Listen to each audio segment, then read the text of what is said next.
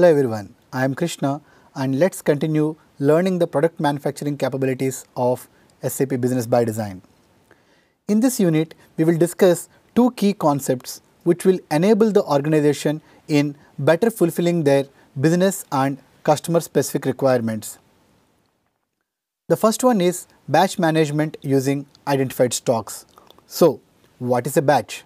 Batch primarily refers to grouping of few units of inventory based on common characteristics of the units.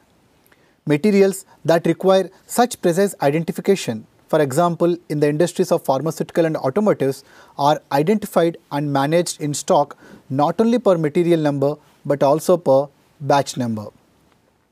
The other commonly used term for batch is lot number.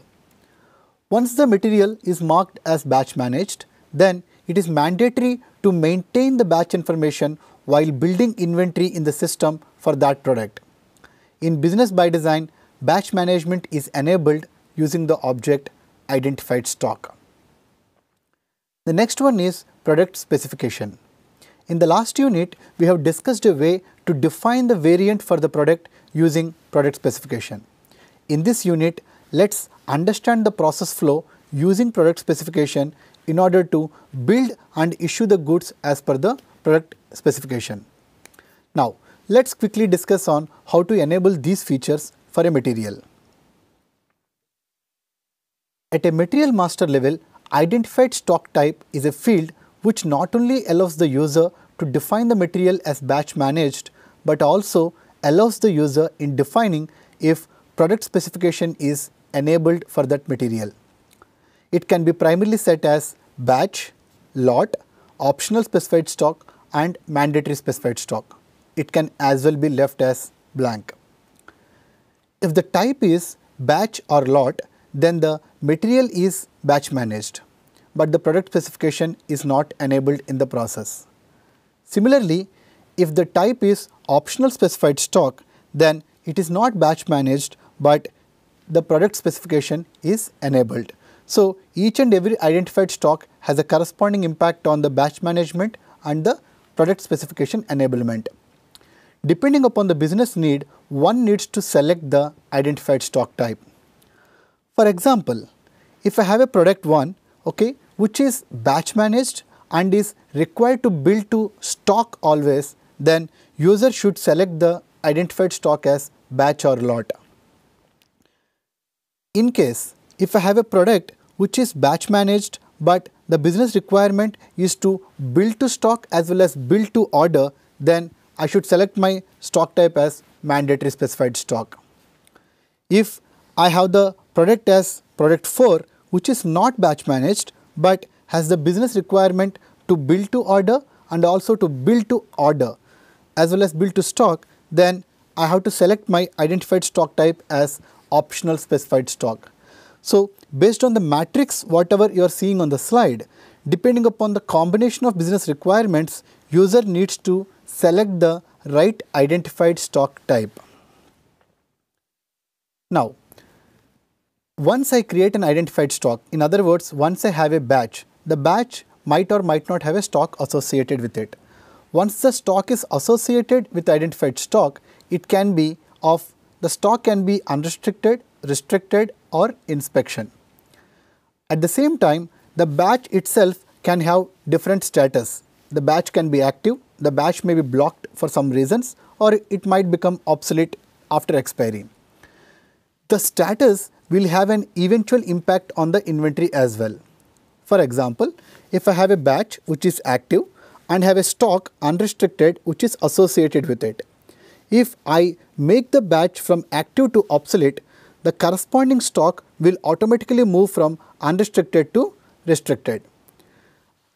So, the status on the I stock will eventually have a update on the inventory as well. Now, coming to the next slide, once a product is identified as batch managed, it is mandatory to enter the batch number across all processes of the inventory management. For example, the processes like inbound, outbound, production, etc. There are three more important characteristics of the batch management. batch specific UOM conversions. At times, it is required to maintain the UOM conversion at batch level. This is a very common requirement in oil and gas industry where the conversion between mass and volume units vary from batch to batch. Also, at a batch level, user can maintain the expiry date to ensure that the batch which is beyond the expiration date is not used by system in execution process. Also, user can maintain the minimum shelf life for a material at a site level depending upon their supply chain requirement. We also have an automated run which is called as identified stock maintenance run which can be scheduled regularly which will ensure that the stocks which are beyond the expiry date or having the life less than the minimum shelf life, the stock will be set to restricted upon execution of this run. Having said, having discussed about the batch management, let's quickly discuss about product specification. We already know that, that we can use product specification ID and properties to record the special requirements your customer needs. The product specification ID and properties follow the product through the process of external procurement or internal production. This enables you to order, manufacture, pick and ship products with specific requirements to your customer. If we take the example of order to cash, then the PRS can be maintained or the product specification can be maintained right from the sales quote process which will be carry forwarded to sales order to delivery process and finally till the point of outbound deliveries and customer invoices. User can also create product specification specific production master data elements namely production bill of material and production model. Now, when a stock, so we got a specific requirement called product specification. When a stock is being built specifically to a product specification, then such stock can be linked to product specification only via identified stock. At an identified stock level, user can maintain the product specification. Having said that, a product specification can be assigned to multiple identified stocks, but for a particular identified stock, only one product specification can be assigned. And most importantly, an identified stock which is assigned product specification can only be consumed against the requirement with the same product specification. When I say requirement, the requirement like customer orders, etc. Now, having understood the batch management using identified stocks and product specification having a stock linkage via identified stock, let's execute a process in the system to issue these kind of batch managed stock as well as PRS specific stock in the system. So, let us take a quick example. Before we take the example, let me quickly explain, showcase the master data setting that I was mentioning. Let us pick, let us take a product called KR uh, product, which I am using here for our demo purpose. This product has been selected as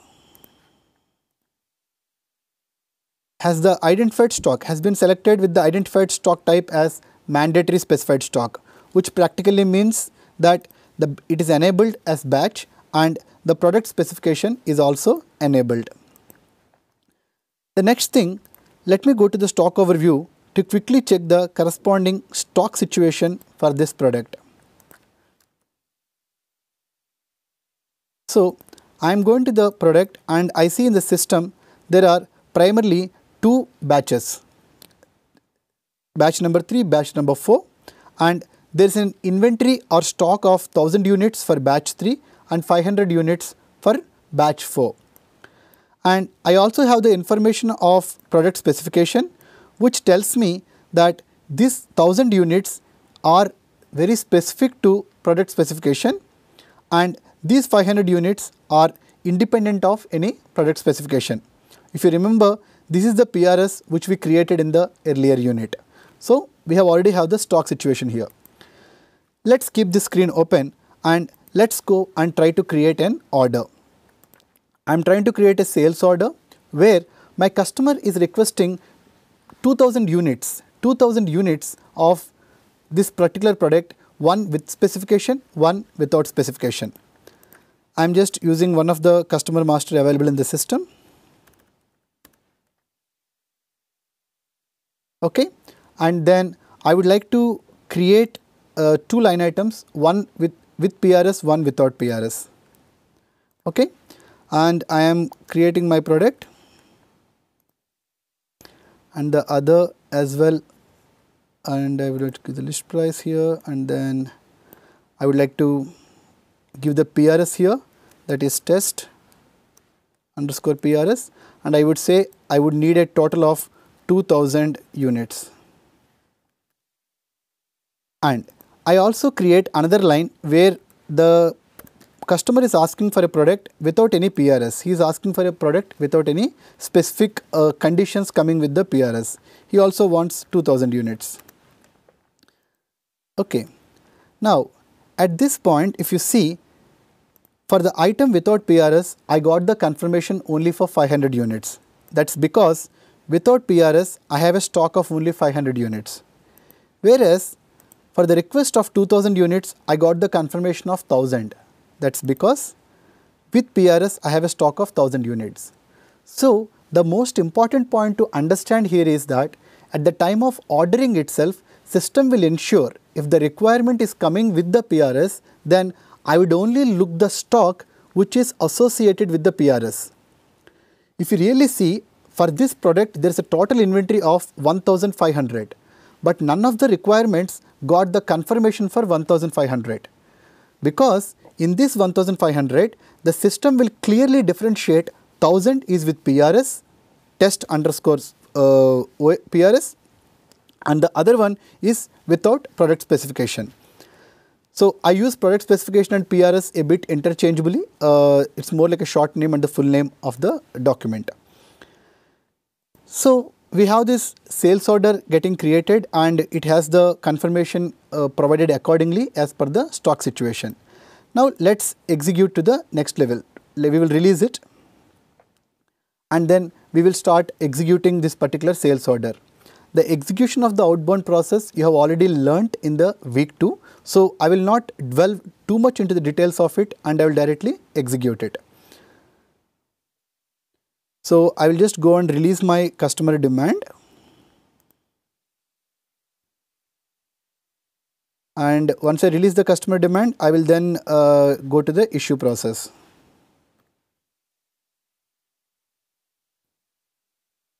Okay I'm just releasing the customer demand. Once I release the customer demand I will then navigate to the delivery process.